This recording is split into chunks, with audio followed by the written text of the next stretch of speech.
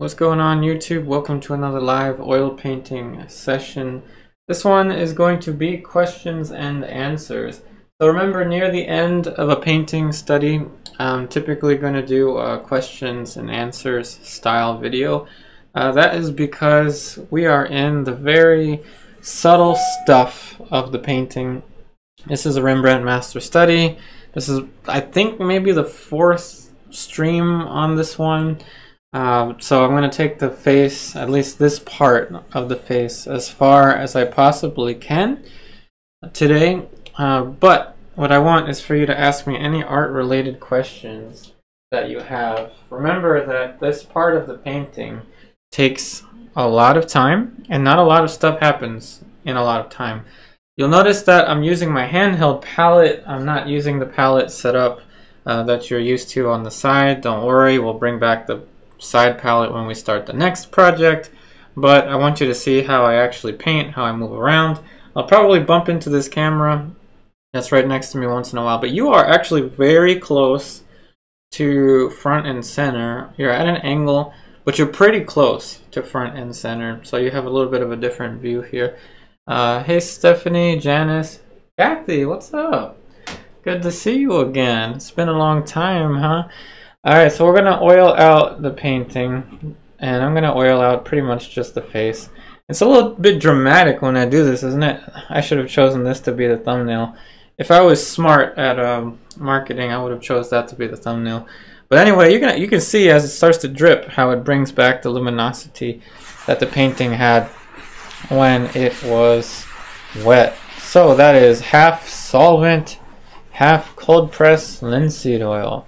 The solvent that I use is Spike Lavender Oil. So now you can see the luminosity is back. Uh, it had sunk in for some time. I don't know if I oiled it out last time. I don't think so. I'm not going to get into all the specifics of the the um, clothing that she's wearing and all that stuff. Um, I'm more focused on the face I'm trying to get the face as possible, as close as possible to um, a Rembrandt-like finish as I can, because that's where all the learning happens. Uh, the learning happens with this, the difficult stuff in the face. So this is just an artist sponge, and I use the dripper. A little bit of dust accumulated on there, but nothing that we cannot work with a lot of subtlety is going to happen. And subtlety involves a lot of things that will not help me out very much if I do like a million YouTube videos on it, um, like I have tried in the past. So, questions and answers style. Anything, any questions that you have about me, about my painting, uh, whatever is on your mind, please feel free to ask. As you see, um, this might be the first time that you actually see me from this camera angle. Um, you can see the entirety of the YouTube setup and how awkward it is to be maneuvering around the camera that's like right next to me. So I'm mixing on my palette and I I try my best to clean it but as you can see there it, it still got paint on it from uh, when I was working earlier. Earlier today, I was working on um, the blue dress. Uh, I guess you can see it. This blue dress big painting that I've been working on for a year now, about to be a year.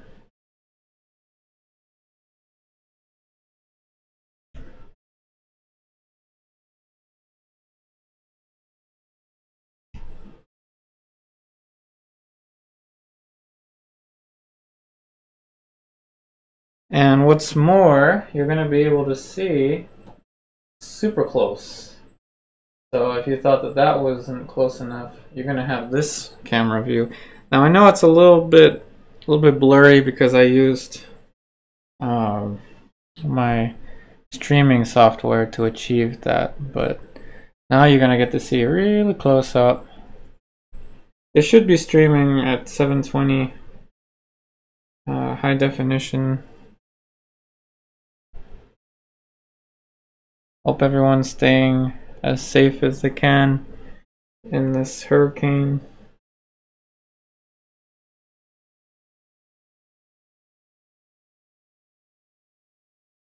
So I'm using blue and I'm using green from my palette. I guess it's a little hard to read the text on the close-up view. But we'll just stick with this one for now.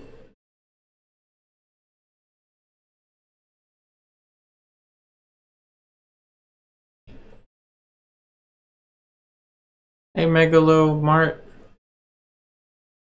First time I've seen your name there. Welcome to the live stream. Hey Tommy. Thanks for watching from Finland. Oh, thank you. You're too kind. You're too kind.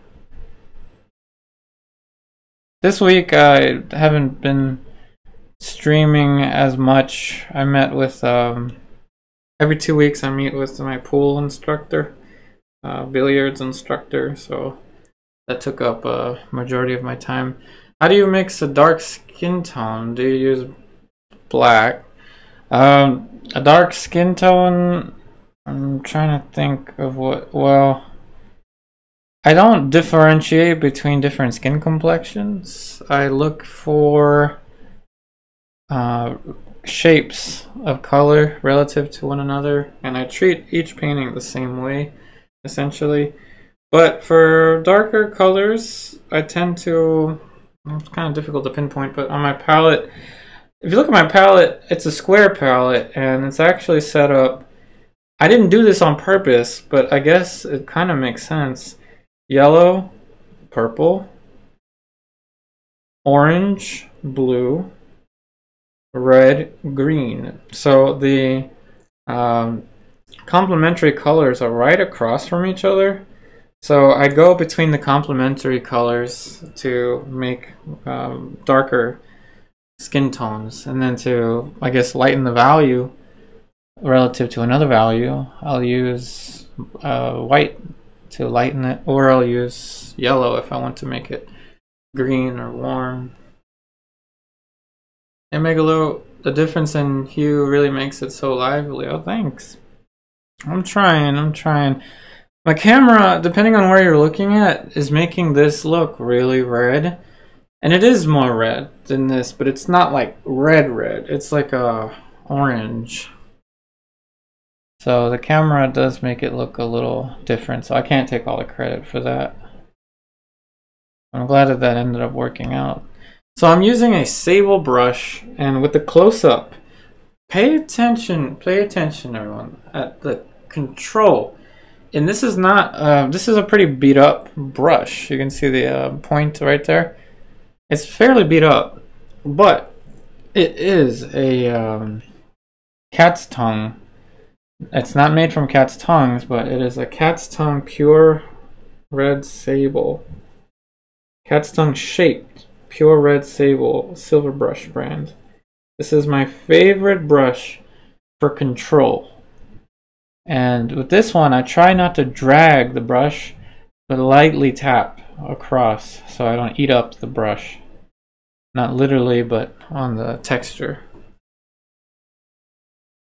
Now, for this subtlety stuff, it, it really is up to you how you want to approach it. But I'm approaching it through pushing the form, pushing the darks as much as I can.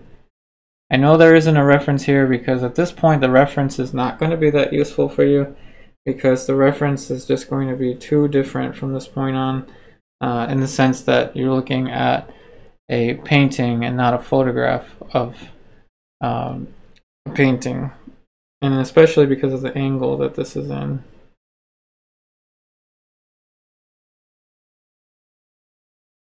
I'm pushing the form as much as I can. And what one of my teachers would always say is, don't sacrifice the painting for the likeness.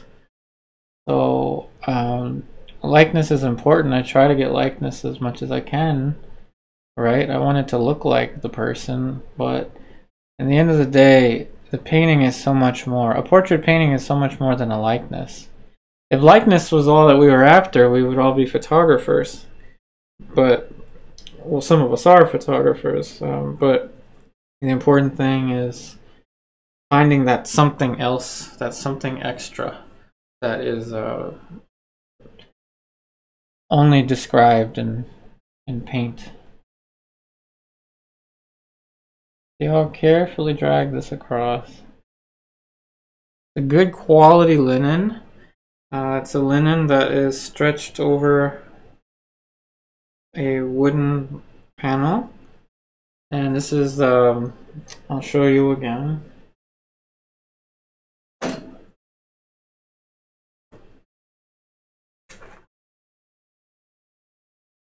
I bought a bunch of these.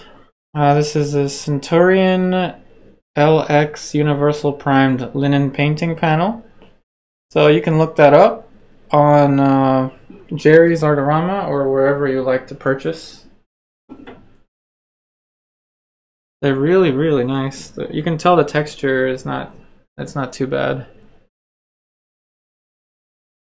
They told me you hope that someday you'll get 120 uh, for water-based oil paints, canvas brushes, live training with me.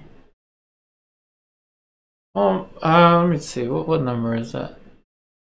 Well, my online classes start out at ten dollars a month. You're able to uh, watch all of the lessons. There's well over a hundred lessons there at your own time but the best thing for me to suggest for you, if you want to start off with uh, water mixable oil paints, which is totally fine. I'm teaching in-person classes, and uh, two of the oil painters there are using water mixable oil paints. It, it has become such a such a popular thing. Um, all you really need to get started with portraiture is the Zorn palette.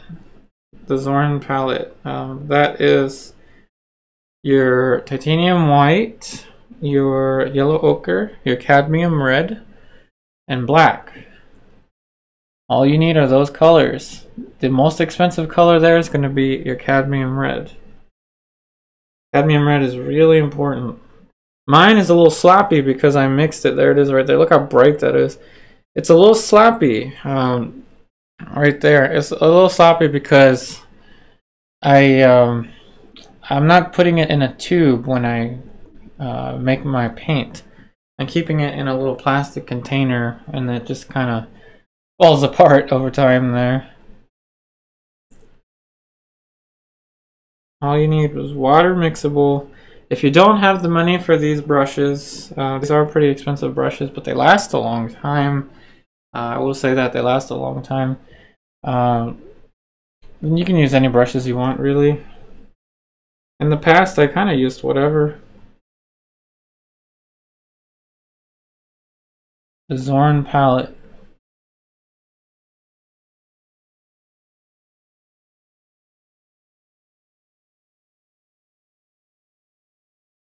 Hey Eunice, live stream is growing. Alright, it is growing in popularity. You mean the format of live streaming?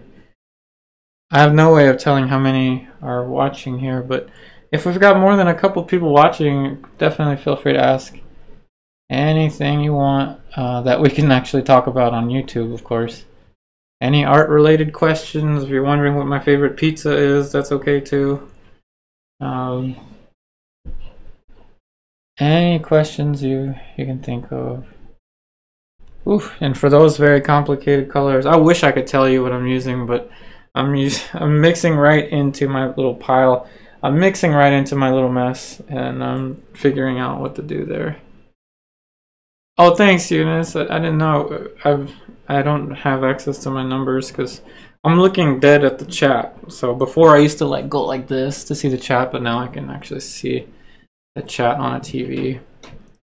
Is cadmium red the same as cadmium red deep? Good question, and I don't think so.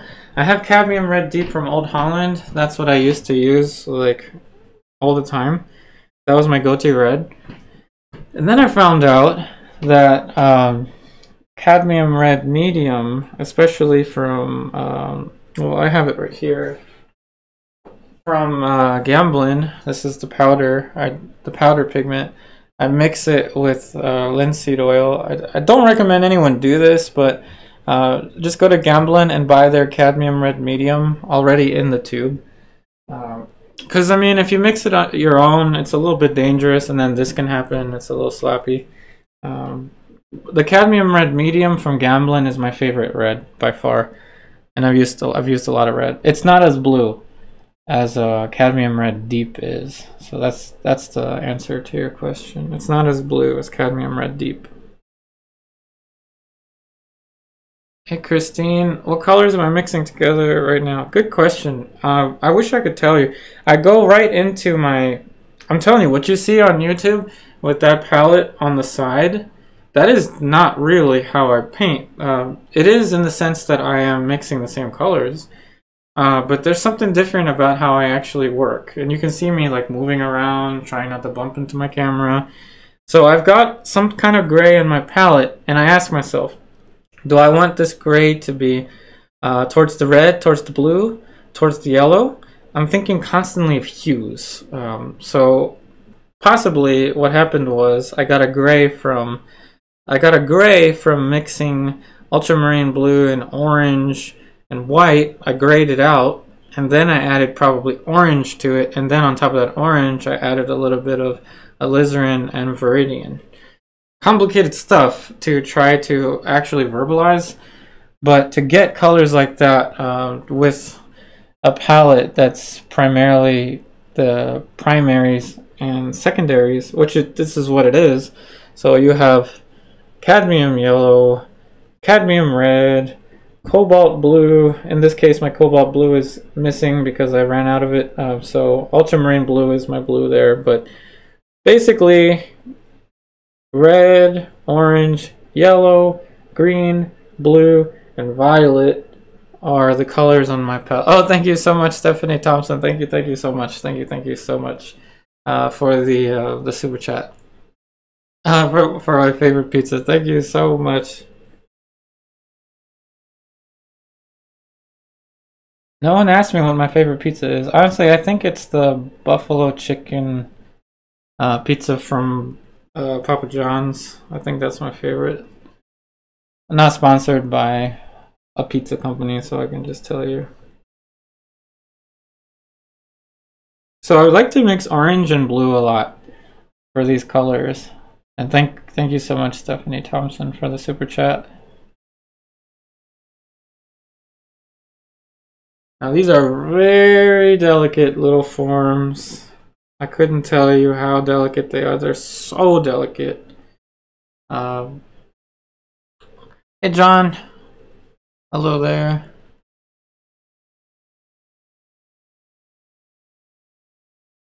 So I've made the chat even bigger on the on the screen so you can see. And let's get you again in a close up so you can see just just how subtle. Look at that. Just how subtle this is. I mean, it is so, so subtle. And I'm looking at a printout of the Rembrandt, so it's a little difficult for me to see uh, because the printout isn't quite as vivid uh, as I wish it was. So I'm looking at form. I'm constantly thinking about form, and I'm asking myself: Is the person's is a person's face really going to be this sharp on the edge? It's possible, but not likely that it's going to be that sharp. And I usually go and I make a form sharper before I go and make it more smooth. So we're going to make it more smooth. Check out the control of the sable brush.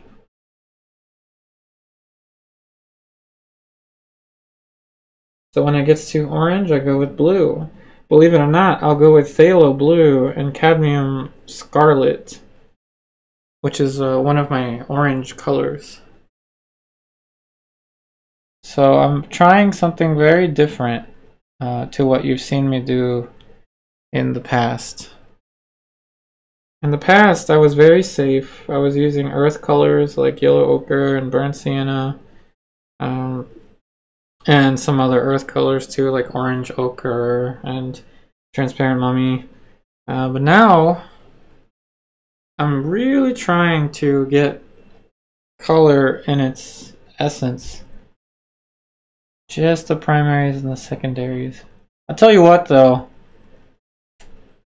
Uh, two very important colors on here that are not necessarily your regular everyday colors are dioxazine purple and phthalo turquoise. Those are not very regular everyday colors on your palette. Viridian Shore, Ultramarine Shore, Alizarin Shore, uh, Cadmium Yellow Shore, Indian Yellow Shore, maybe not as much Indian Yellow, but the Dioxazine Purple and the uh, the Phthalo Turquoise. I'm telling you, I was afraid of Phthalo Turquoise for the longest time. I was scared of it. I was scared that it would go and it would pollute, and I think I would say that too in my YouTube videos that it was a dangerous color to use. And I've just used it right there in that little spot. I've used the touch of it. So I've said it before and I'll say it again. This is a constant learning process. This is, we're always learning. And sometimes what we thought before was the best way to achieve something can always be challenged. And we can always learn and I'm going on and on and on and on. I want you to have a chance to ask any questions you have.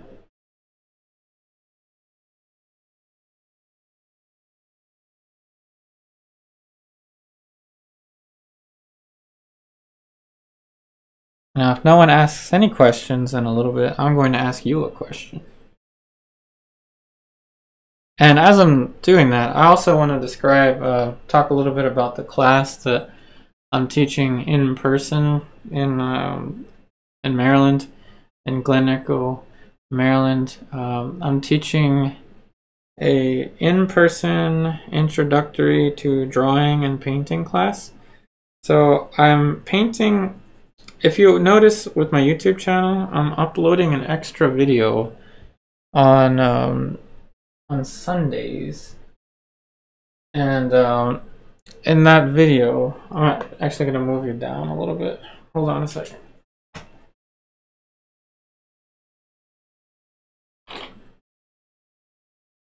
Too far. I need a camera crew.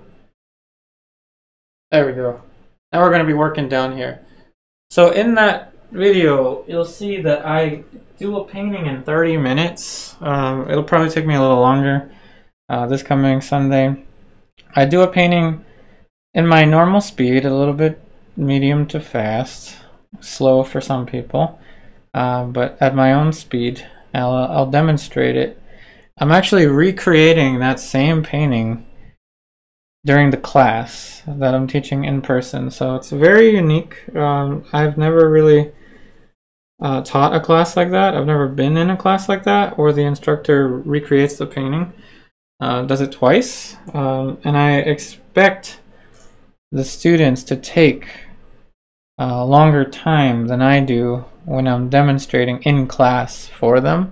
So I'll, I'll paint for like, what, like five minutes? I'll paint for like um, eight minutes. That's an exaggeration. I'll probably paint for about, honestly, probably like five minutes.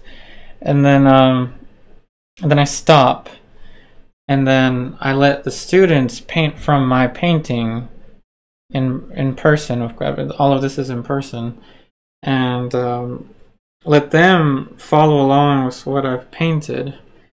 And then I have little checkpoints, so I'll stop and I'll say this is a checkpoint. So now I'm going to go around and check everyone's contours, or I'm going to go around, I'm going to check everyone's noses, uh, not their noses, but uh, in their paintings. Very unique. I don't know how I came across that. I just kind of made it up. And uh, I like teaching like that. Hey Kathy, am I selling any paintings? If so, where? Oh, you're so, so kind.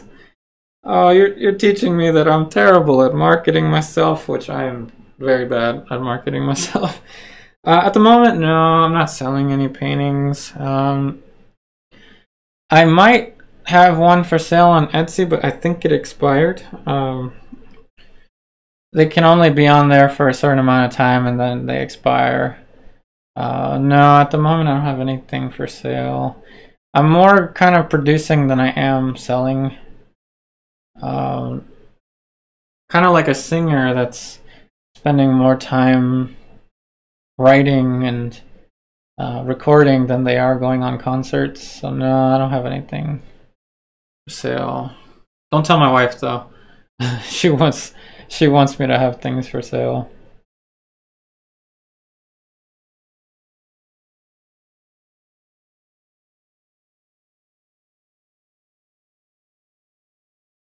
I'm I'm really like uh, definitely check out my Instagram, everyone, if you haven't seen it recently. I've really been uh, putting a lot of hours in the studio.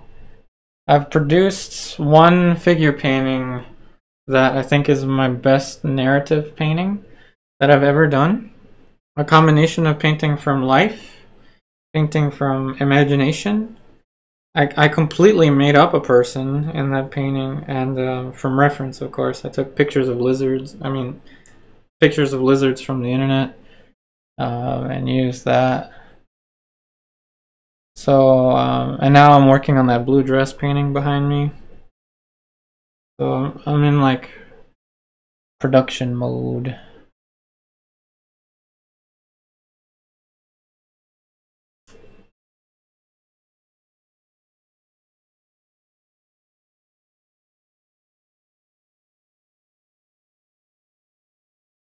Well, thanks for the question though. I should be better at that, I really should.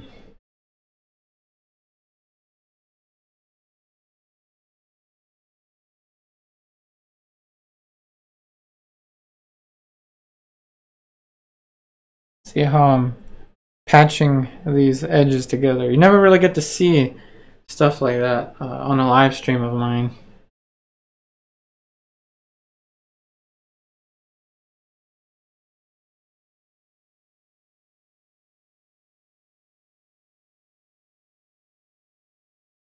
I like to work in little puzzle pieces for these forms so that the forms don't appear too vaporous, uh, too vague.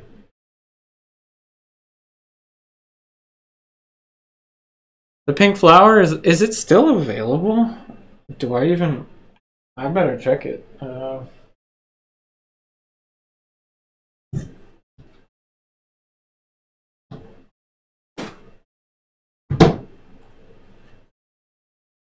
yep, it's still good.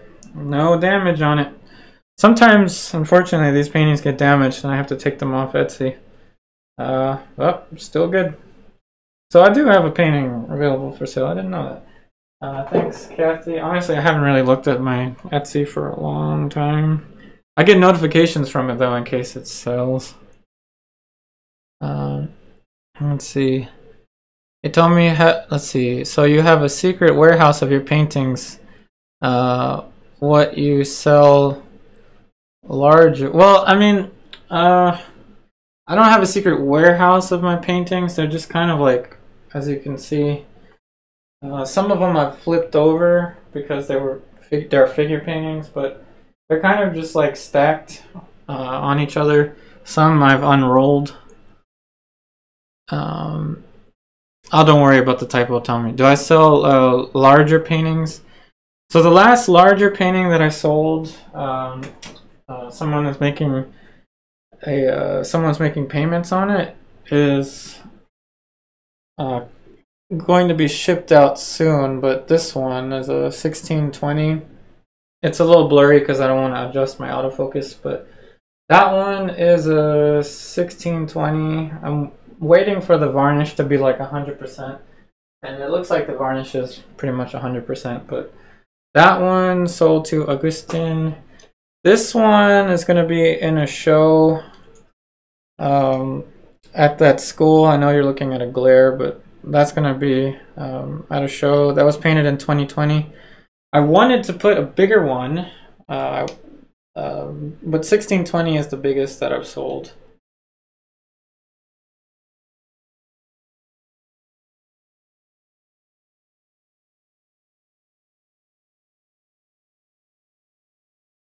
But um, yeah, 1620 I think is the biggest I can fit in a box and send it to the UPS.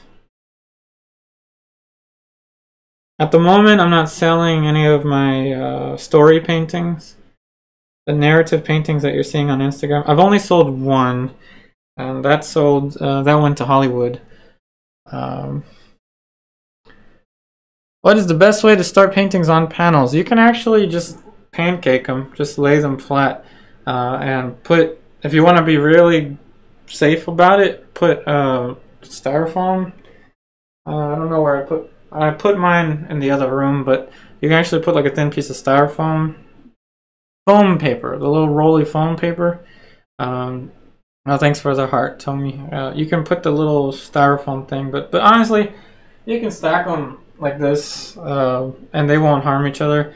As long as there's no like lateral movement to scratch the painting, nothing is going to harm it because it is on a panel.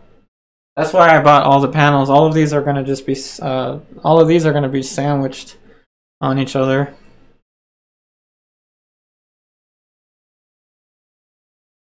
Eight by ten is a perfect size to uh, sell also. So eventually I'll start selling these 8 by 10s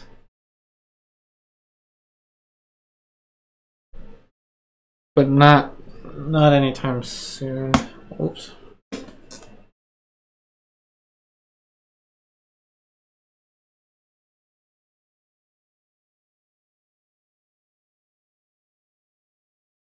Yeah, 2022, I really haven't had a demand for uh, my paintings. So I kind of gave up trying to post a lot of paintings on Etsy. I'm not to lie to you all, tell you the truth. I mean, I'm just like you.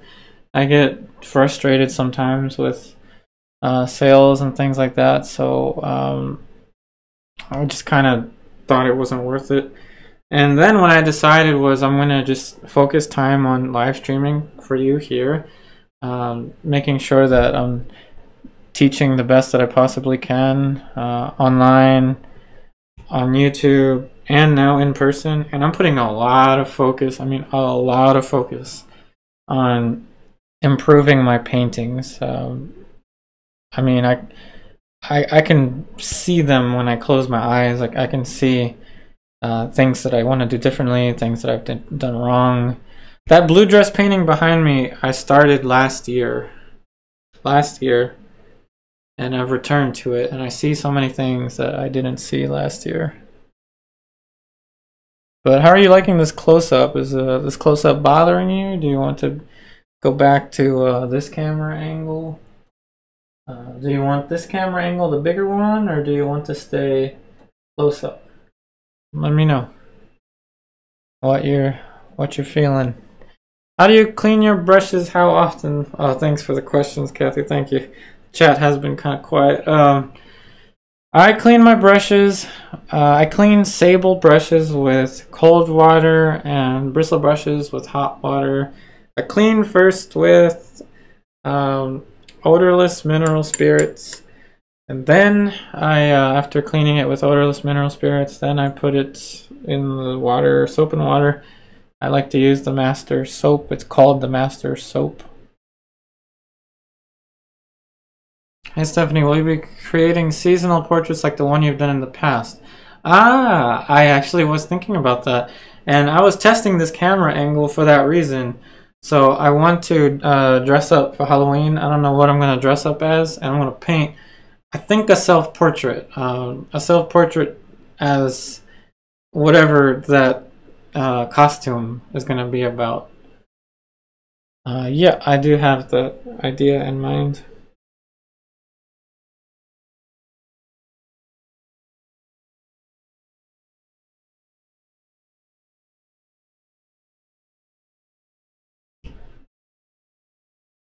I have to be very careful as I stand back. The leg of the camera is like right behind me.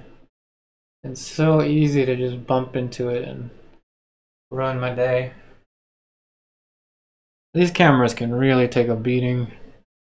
I tell you, they are so sturdy, robust. Alright, so let's see what we can do. ATY, most of my classes are too advanced for you. I wouldn't say I my classes are definitely catered to any skill level I would assume but but yes um, let me continue reading before I say anything Uh, do you know where I can learn very basics like painting spheres, cylinders, etc., black and black and white? Uh, classes where you can paint spheres. You know what? I think I got you covered because I am teaching an in-person class. The demo that I did uh, last time. So check out my uh, Sunday videos. Um, I will be doing things like spheres and, and stuff like that. However, if that's something you want me to do, because I'm honestly when I go on YouTube, I'm looking up like pool videos, um, like uh, pocket billiard stuff, because um, that's like my hobby now. But if you want me to do more basics stuff, I will do that. If you think that that's something that you are interested in watching, more basics stuff, we can do that. I got you covered. Um, my online classes start off with a uh, drawing template that you print out. And uh, the printout is supposed to be right next to your painting. So you have painting and then you have printout next to the painting. So um, it really is one of the most, I, I would say, simple beginnings for um, for any painting, portrait painting or or whichever. Alright, so now let's go back to the eyes. No one said anything about close-up or not close-up, so I'm just going to leave it like this.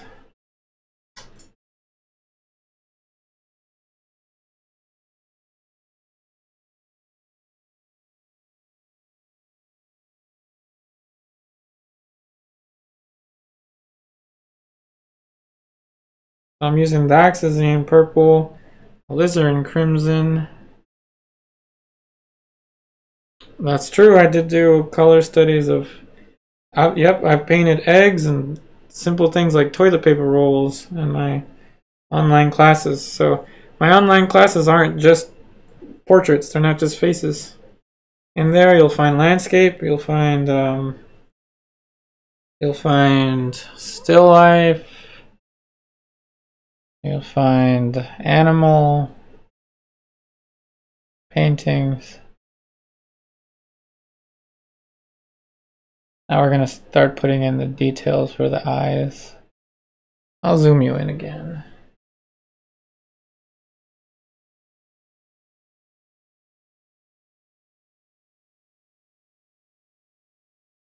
And this is a a pointier silver brush. No kidding. So if you think my online classes are too advanced, that is uh, that's very good feedback. Um, eyes aren't, by the way, looking at the same place in the Rembrandt. So I'm going to paint them not looking at the same place. See that? You see this eye looking a little bit that way. So just showing you. Now you see how flat the image is that I'm looking at, so it's a bit of a challenge. Alright, so now I'm going to ask a question to everyone here.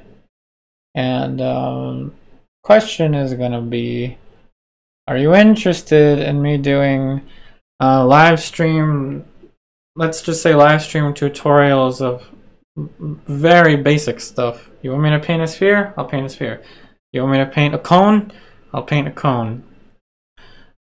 Let me know if you're interested in more basic stuff like uh, linear perspective. Are you interested in uh, basic color mixing? Like we won't say not, for example, not mixing skin tone for a face, but we can do a little tutorial where we'll, we'll mix certain colors to achieve skin tones and things like that.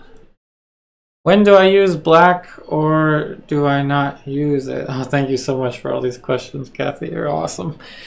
I, I'm not using black, no. Um, I'm using, um, for that dark, Dioxazine purple, alizarin crimson, uh, and I think that was it. Um, I don't use black because it's just a neutral blue to me. And if I'm gonna have a blue, I'd rather have something like uh, ultramarine blue or phthalo blue.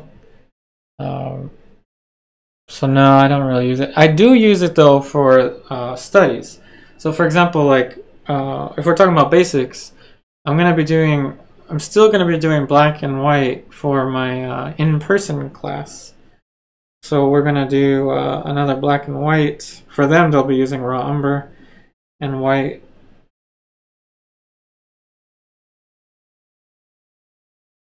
Though you can use black in the Zorn palette because it is part of the Zorn palette because it is a blue. So you can use it in the Zorn palette. I in my studio work I personally don't use it.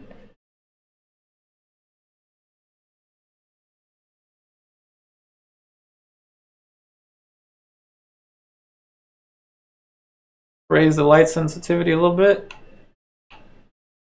uh, so you can see what I'm doing. Indian yellow is a really good transparent yellow to put in some really sneaky green tones. I think she has hazel eyes.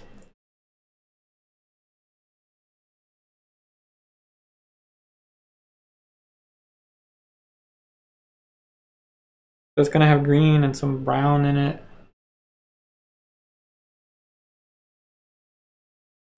It's definitely a live stream on turning form would be appreciated. Okay. Um, I've done something similar to that where we modeled um, a. Uh, we basically made up a shape and then modeled it in the online classes, but I can do something like that.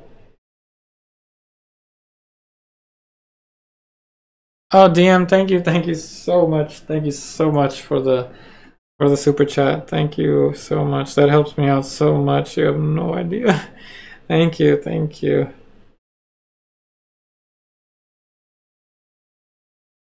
Tommy, I think it's better, or Tommy, I think it's better to do master studies explaining basic uh, at the same time. Oh, I see, I see. Okay, so that um, with an emphasis on basics. That's a plan. That's a plan. Hey Volker, thanks for watching from Germany. Oh, of course, ask me anything. You can ask me anything that's appropriate for YouTube. Um, I trust all of you know uh, what that means. No controversial stuff and all that. Anything art related? Anything about me? Do you want to know my favorite Indian dish? Do you want to know what my favorite motorcycle is? Um, my favorite sport? Feel free to ask. Why left eye is yellow and right side is natural? Uh, let me see. Yellow and right side is natural. This one appears lighter. And this one is a little darker. I don't know. I might have just made it darker for some reason. I'm not sure. Probably a mistake on my end. Um, I think I made this one too light. I think it's just a mistake on my end.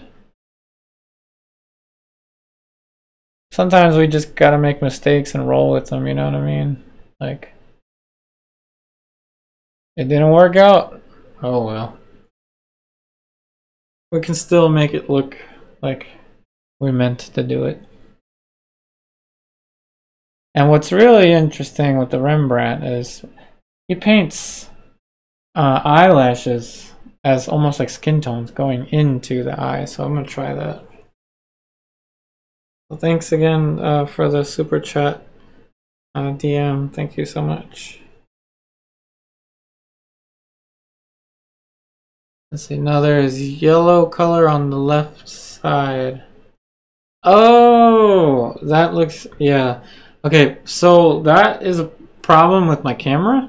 So my camera picks up, I mean, I hate to blame technology, but it does pick up more of a yellow here. It's picking up more of a red here. So that's because the camera doesn't have a nice time trying to pick up these pure colors. Um, however, I did make the value too dark. This value is still a little too dark. So I'll be able to work into that. But good question. A little bit my error, a little bit uh, camera error. But that isn't as yellow as it looks there. So that's the downside to using these colors, uh, especially if I'm, you're going to be live streaming like this.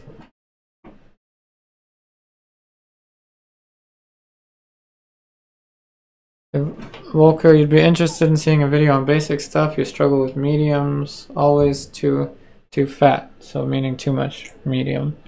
Okay, we can talk about that.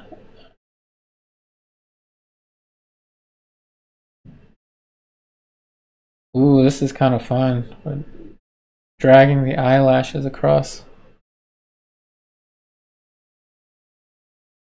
Very odd we're using skin color for this.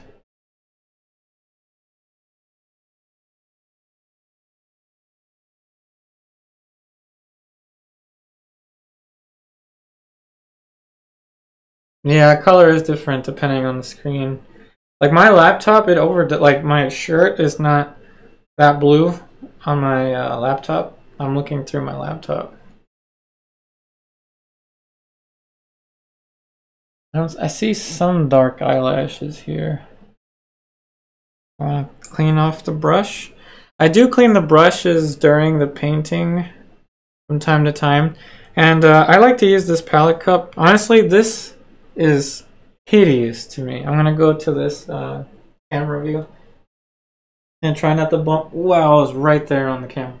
So this palette is this is ugly to me. This is the and I'm sorry, New Wave, but I doubt you're watching anyway. But uh, this is the New Wave Highland palette. It is absolutely hideous to me. It's just a basic uh, rectangle that's supposed to be more of a plein air palette uh, it's 12 by 16 inches. It's hideous to me. But this darn thing is the most comfortable handheld palette I've ever, ever had. Now, if we're talking about looks, my favorite looking palette is what I call my forever palette, which is this thing. And uh, I use it on occasion. I don't use it all the time. I liken this to say uh, a really fine automobile uh, that you always want to keep clean and you don't put that many miles on it, you don't use it that much. Um, this is my prized possession of a palette made by a, uh, um, an artist named Larry Wiseman. I actually used this for months last year, um, and he unfortunately is in a home with Alzheimer's, so he is not making palettes anymore. This is a very special palette to me, so I hang it up I don't really use it from day to day. But this is my regular, everyday, normal palette. It's hideous. But it is so comfortable. And the little hook, on there's like a little hook on the top of it that goes really well with my, um, my palette cup. And this palette cup is designed, uh, and you can buy these. These are the UFO looking ones. You can also get one that's got two. But I find that this is a little bit heavy. So I'd rather have the one that has just one. So this palette cup works really nicely if you clip it on uh, to your paper towel and then you can clean your brushes while you're working. And if you're mixing like I am, like in a string, you see all these mixtures here? So I mix in the string right there. There are some days I won't even clean it. There are some weeks I won't even clean it, but um, I just thought I would mention it. I'm not sponsored by anyone. I can tell you how I truly feel about such and such products. Um, definitely the New Wave Highland is the most comfortable palette and uh, the wooden one.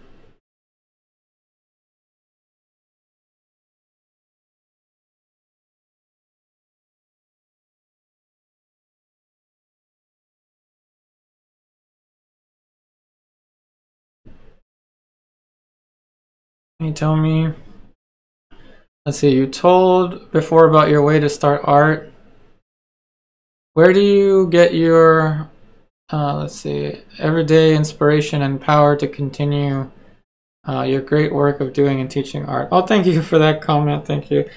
Um, honestly, I got my motivation. Like I, I went through a slum, um, if that's even the correct slang, but I went through, probably isn't.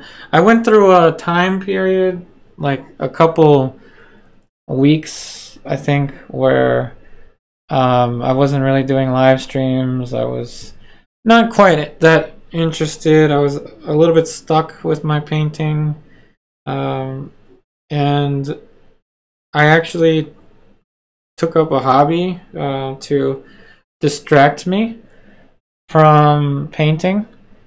And um, honestly, I think without having a hobby or like a side hobby of some sort, like a hobby on the side of being a reptile keeper, because being a reptile caretaker is my main hobby, right? Um, but I picked up uh, something called pocket billiards. Uh, some of you know about it. Some of you are even excellent at it. Um, but I started playing. It's called pool. Uh, I started playing pool, and the more I would learn about pool, the more I appreciated the art of learning and the mastery involved in any subject, any field. Um, I just appreciated mastery so much. So, to answer your question, I went a very inco- uh, not inconvenient. I went a very unconventional route. I stopped looking at painting. I went to play pool. I was at pool halls for hours, and then like boom, like I was like, I want to paint now. I miss painting. I've been missing so many so many easy shots. Like, I want to paint now. I miss painting. There we go, slump. Um, and teaching, I just, I don't know. I've always liked being able to present my knowledge to others. Like, if you know me in person, you will get bored of me talking about art all day, talking about pool all day. Like, I'll when I'm into something, like I am into it, and I really love presenting it. Um, I just I don't know. I've always liked to be able to present what I'm thinking, uh, what I'm feeling, and what I've learned to others.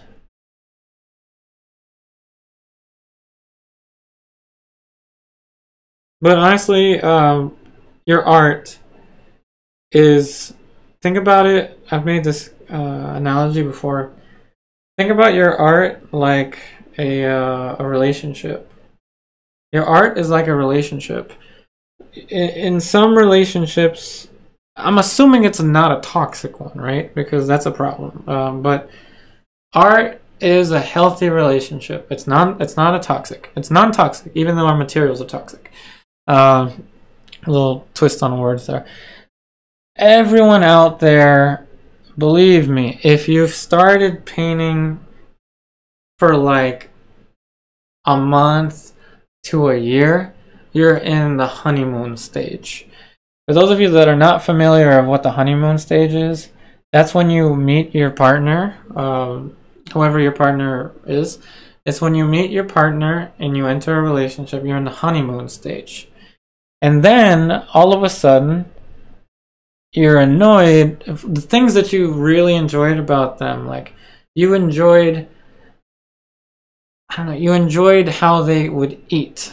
Uh, like you enjoyed eating with them, right? Um, I'm trying to think of this analogy. Somebody, I heard this on a TED talk. I don't remember what, but the things that you really enjoyed about them at first, you start to then notice the other side. So you notice that they chew loudly, you notice that they snore loudly, or you notice that I don't know, just things about them. Um, so you transition from the honeymoon stage in the relationship to really starting to understand this person, which is so important because you have to have patience when you're in a relationship. You have to it's a it's a give and take, right? You have to have relationship uh, patience. It's the same with painting. Believe me, painting is the same. There's gonna be a time in painting where you're going from that like honeymoon stage of like oh, this is so awesome. I'm going and I'm painting every day to like, uh, do I really want to paint today? Uh, and then when that happens, then you're like, you're out of it for a little bit. and then all of a sudden like boom like something clicks and then you go right back into uh, falling in love again. That's like a relationship. You, you constantly fall in love again time and time again. You keep falling in love. You grow together or you grow apart. Just like a relationship in, in real life. Hey jonas. Any newly discovered favorite artists? Um not really, not recently for me. Um, I can't think of any newly discovered.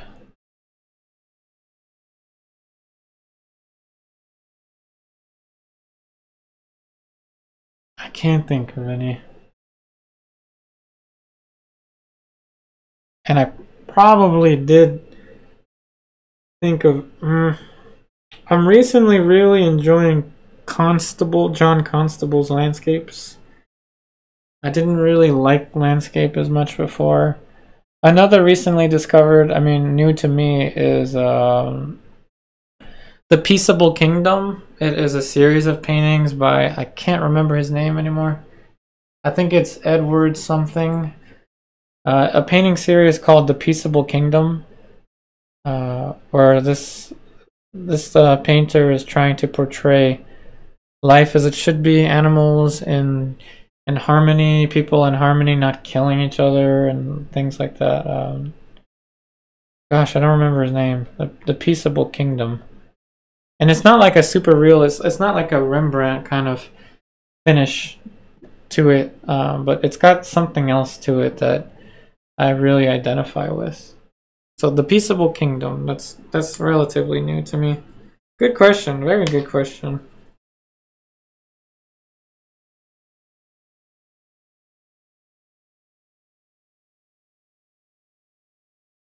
Let's see if we can do something about that. It's a little dark. So we're going orange and blue. Are there any impressionists that I like? Of course. Um, William Merritt Chase. I mean, he was Charles Hawthorne's teacher, right? Charles Hawthorne. I, hope I'm remembering this right. Charles Hawthorne taught. Uh, I think he taught Henry Hensche. Um, but anyway, I know that Henry Hensche has a lineage to William Merritt Chase, and uh, he taught my teacher, so I have a lineage back down to uh, William Merritt Chase.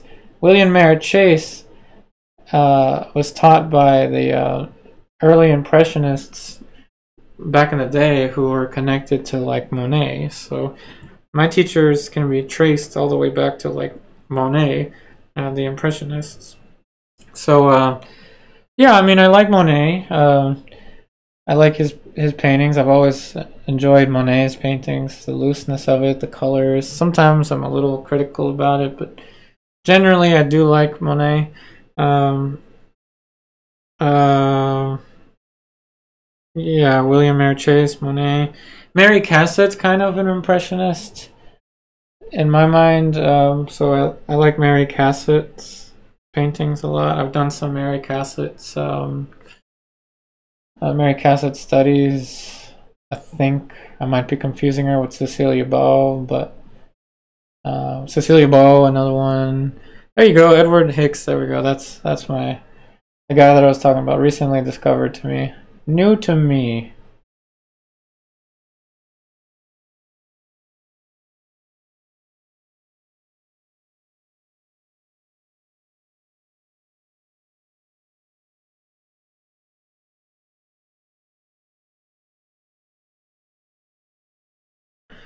I thought somebody was about to ask me the meaning of life. That would be a good one. What's the meaning of life? I don't know. I'll tell you uh, once I've lived life.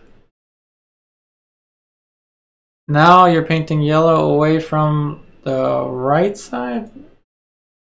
I'm confused. Well, I didn't even touch yellow um, in here. I used orange and blue uh, let's see. I don't know. I know. I mean, uh, That's just the way it looks. But honestly, I can tell you my interpretation of the meaning of life.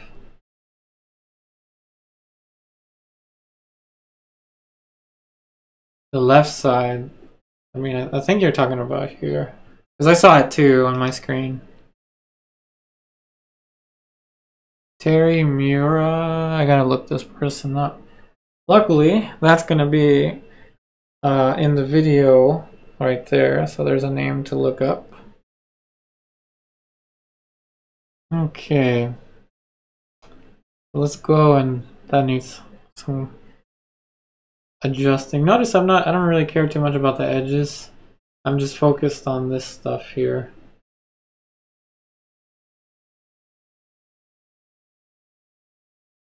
And that's bothering me. I don't know why that looks so orange on my screen. I can tell you what the meaning of life is to me, though. Now we're going to get real. Uh, what is the meaning of life? Well, I'll summarize it like this. And I'll tell you where it happened that I uh, had this kind of like an enlightenment in life. Um, it happened during my grandpa's funeral.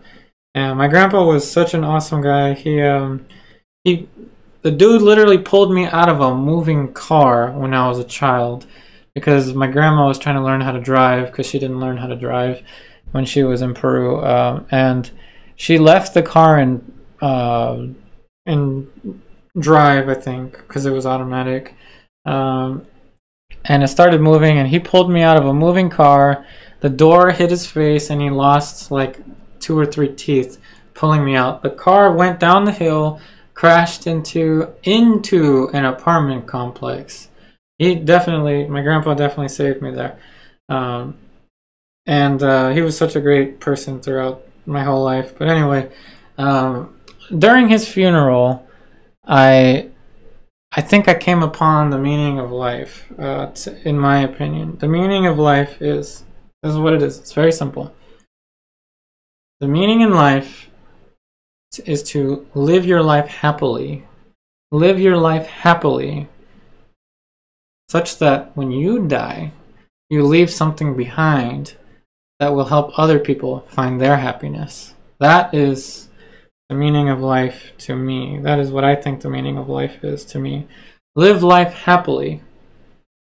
And by the time you're done, leave something behind that will help others find happiness.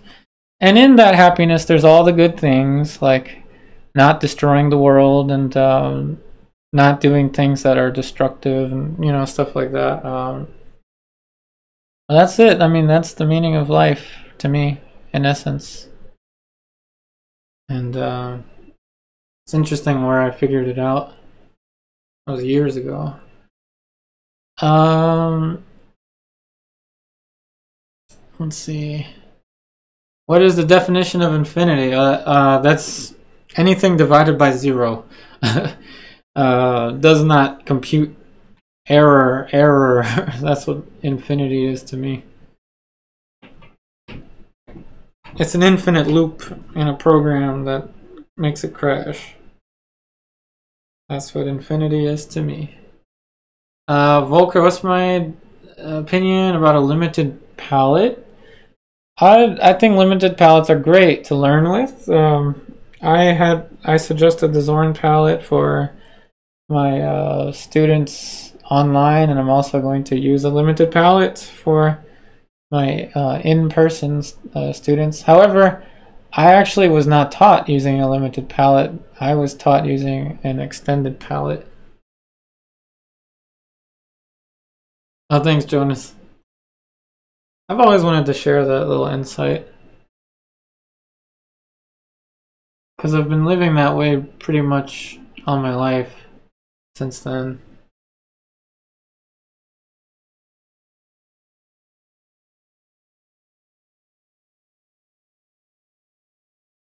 It's all about happiness and truth. And I think that's what my paintings, I hope, will reflect. My studio paintings, like the blue dress uh, painting and all that. Now we're going to soften these edges.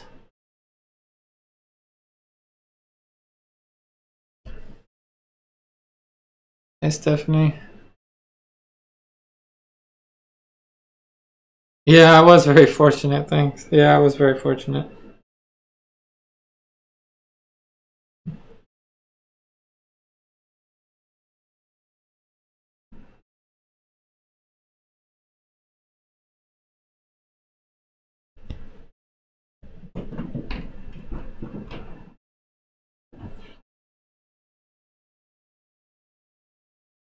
And I had to mix the value for that edge. That's not an easy thing to do, and I just went right into the palette and was like, eh, that looks close, let me make it more blue, and that was it. That's what I did. And here I'll just test out this color on its own. And that is to orange. Let's move you up a little bit.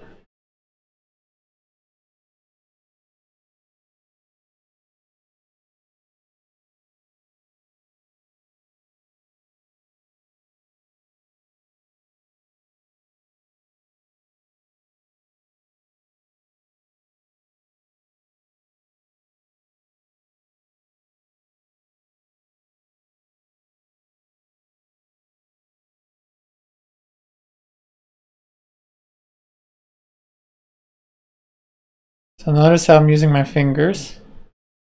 I'm resting a pinky, though you can't see it, I'm resting a pinky on the side.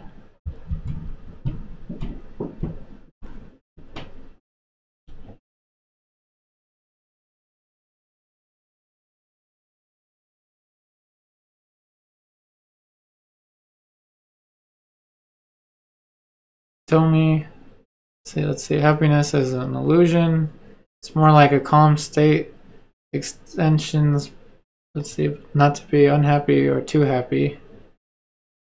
If you always look for happiness something what? Oh always looking for happiness as a way to unhappiness. Oh that's true too. I don't think you can force happiness either.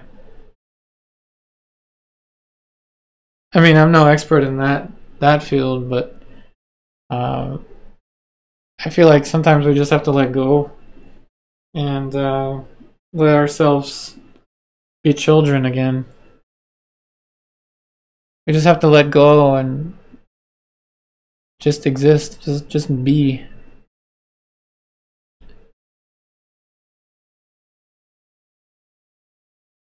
Kind of being being in the moment kind of thing.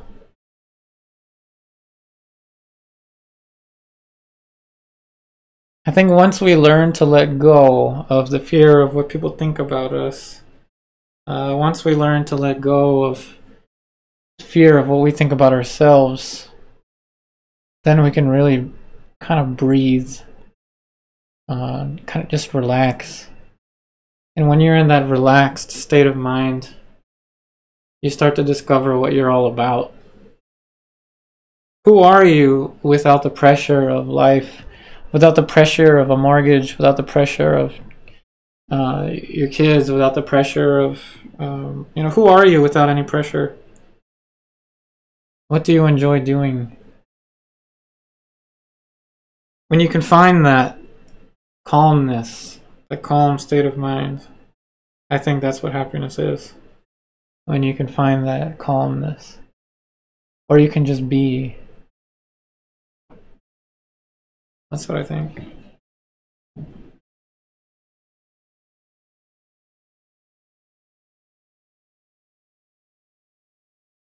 It's kind of like in painting. I'm not thinking about what I'm doing all that much. I'm just reacting to the canvas, to the model, and I'm just, just being.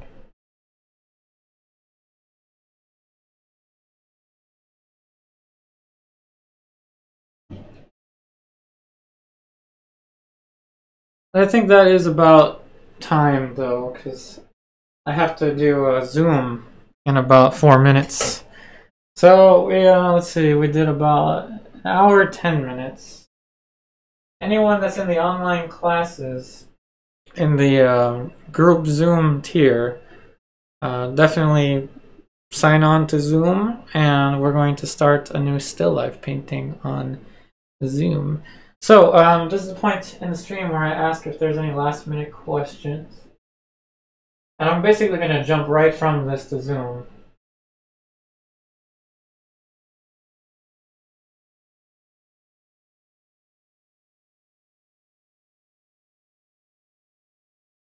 Oh, thanks, Jonas. And thank you all so much for the super chats, by the way. Thank you so much. And next time we will start another one. And uh, this one, somewhere along the line in the future, I'll post it on Instagram. Happiness is a warm puppy. There we go.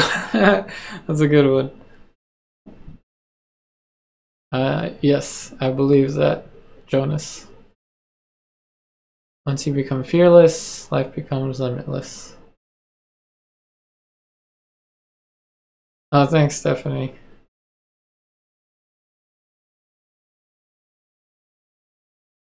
All right, so those of you that are in the Zoom tiers in the online class, we are going to switch right from this uh, to Zoom. So I'm just going to lift this, put another canvas there, and we're going to start our uh, new our new uh, Zoom painting. For those of you that are interested in uh, taking your online art education with me, uh, please check out the link to my online classes on patreon.com slash artist. Here is a sample of uh, some of the student artworks that have been produced in my online classes. I'm very, very proud of my students and I hope that they are very proud of their achievements as well. Again, thank you all so much for all of your support on my um, YouTube channel. I was about to switch to Patreon mode. Thank you all for so all of your support. I'm tired on my YouTube channel. Also, those of you that are patrons on my Patreon, I get them confused sometimes, so forgive me for that. But anyway, thank you so much for the super chats. Thank you so much for watching, for commenting, and for sharing the video. Remember that the live stream schedule is set between Tuesday and Friday. Not every single day. I cannot promise I'll make every single day, but somewhere along the time frame of 2:30 to 3:30 p.m. Eastern Daylight Time between uh, Tuesday and Fridays when you're most likely to catch me streaming here live. I try to do at least once a week, and now I'm also uploading videos, supplemental videos for my uh, in-person students on uh, Sundays. Again, thank you all so much. I wish you the very best in all of your work, and I will see you on the next one.